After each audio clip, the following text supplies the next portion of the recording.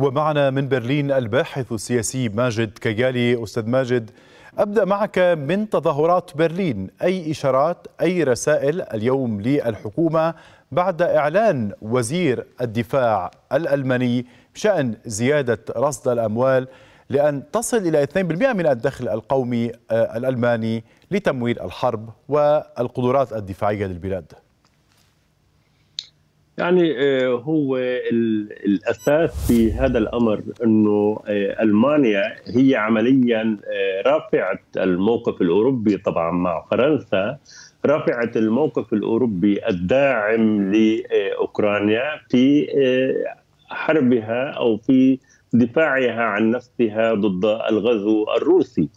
إحنا شهدنا إنه ألمانيا بعد يعني قبيل الحرب عندما تأكد انه هناك غزو لأوكرانيا أوقفت إمدادات يعني أعلنت إن إنها تتحرر من إمدادات الطاقة من من روسيا. وفيما بعد ذلك رصدت اعتمادات كبيرة جدا اعتمادات عسكرية تقدر ب 100 مليار دولار. بعدها بعدة أشهر أيضا البرلمان أو البوندستاغ الألماني اتخذ قرارا بتقديم دعم بأسلحة ثقيلة لأوكرانيا. اذا هذا هو الوضع طيب بالنسبة هذا في. الناحية التقنية أستاذ ماجد. ولكن هنالك مشاعر تبعناها هي مشاعر غضب مقابل تظاهرات أيضا داعمة لهذه الحرب. وداعمه فعلا لاحلال السلام ماذا تفسر في مزاج الألمان؟ سأتحدث عن ذلك إنه إحنا اليوم كنا في حزب اللي هو حزب اليسار. دعا إلى مظاهرة طلع فيها 10 أو 15 ألف متظاهر في ساحة براندنبورغ بوابة براندنبورغ لكن بالأمس كان هناك مظاهرات حاشدة أكبر بكثير هي داعمة للموقف الأوكراني. هلا خلينا نشوف إنه حزب اليسار هو بتالف من له 39 مقعد في البوندستاغ من 736 مقعد.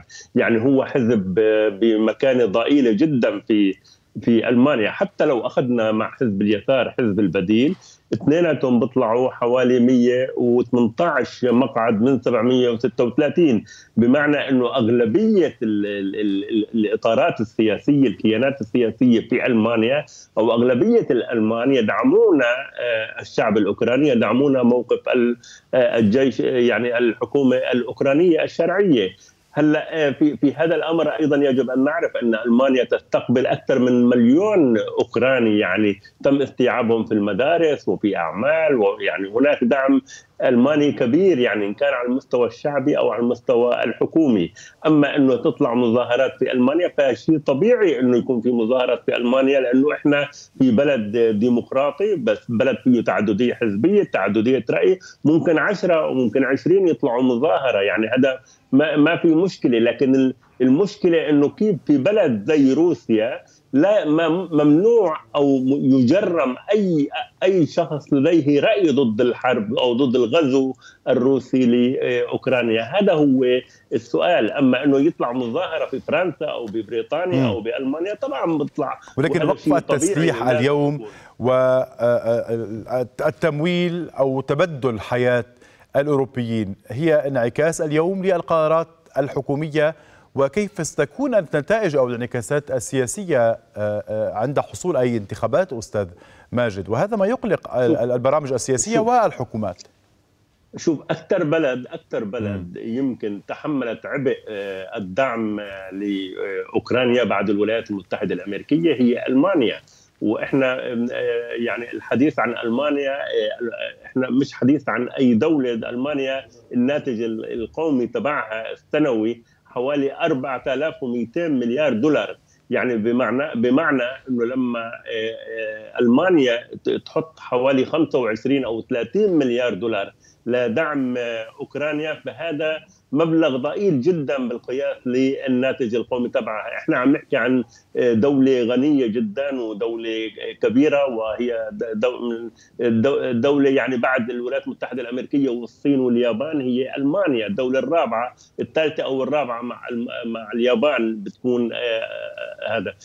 أما إذا جينا على مستوى القارة الأوروبية على مستوى الاتحاد الأوروبي والقارة الأوروبية بما فيه بريطانيا والدول اللي هي خارج الاتحاد الأوروبي فالناتج الإجمالي لهم حوالي كمان 50 ألف آه، مليار دولار. يعني عم نحكي عن 50 آه، تريليون دولار آه، دخلهم السنوي بمعنى إنه هاي الدول قادرة على إنه تعبئة طاقاتها ودعم الشعب الأوكراني وتغطية حتى مثل ما شفنا أسعار النفط والغاز رغم كل الصعوبات رغم كل المضاعفات الاقتصادية اللي تأثرت فيها الدول الأوروبية إلا أنها استطاعت أن تتجاوز الأزمة، إحنا بنعرف إنه في بداية الأزمة الدعاية الروسيه كانت تقول إنه الشعب الشعوب الأوروبية بدها تموت من البرد أو بدها جنرال الشتاء اللي جاي وإنه ما راح يتحملوا تكاليف المعيشة وإنه المظاهرات بدها تطلع تنادي آه، في آه، آه، وقف الدعم. لكن كل اللي شفناه طيب ولكن اللي شفناه ماذا كل... عن الأكلاف اليوم التي خلفها النزاع على الاقتصاد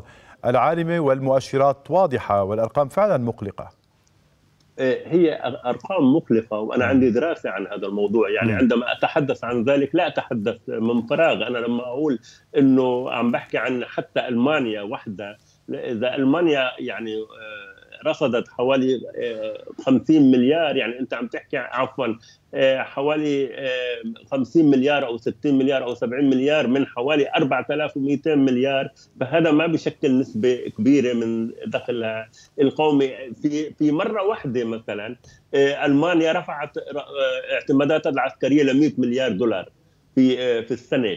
في اعتمادات تغطية ارتفاع الأسعار وارتفاع أسعار النفط والغاز ودعم العائلات ودعم الشركات الصغيرة دفعت ألمانيا أو رصدت حوالي 200 مليار دولار في في هذا الأمر. بمعنى إنه هاي الدول قادرة على إنه آه، آه، مثل على الأقل إنه ثبت اليوم ثبت إحنا عم نحكي مش بعد أربعة أشهر من الحرب ولكن اليوم انتهى حتى فصل الشتاء وثبت إنه هي قدرت إنه تتجاوز هاي الأزمة رغم كل الصعوبات رغم ارتفاع الأسعار رغم التضخم اللي حصل. لكن بالمقابل مثلا مثلا إنه آه، آه، روسيا في سنة 2013 آه، يعني قبل قبل احتلال شبه جزيرة القرم وأجزاء من دونباس كان دخلها حوالي 2.6 تريليون دولار. ولكن بعد ذلك بعد الاحتلال ونتيجة العقوبات رجع الناتج القومي تبعها إلى الخلف